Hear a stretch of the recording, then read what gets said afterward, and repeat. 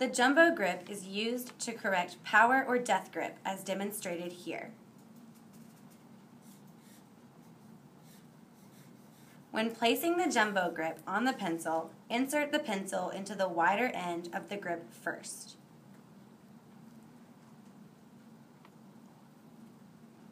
A right-handed student will place their thumb in the groove labeled R.